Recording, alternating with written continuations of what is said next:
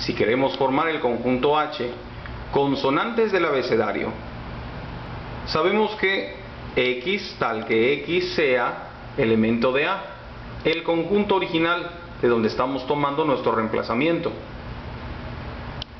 Y a su vez, que sea una consonante de este abecedario que está en la letra A. De esta manera vamos a formar el subconjunto H.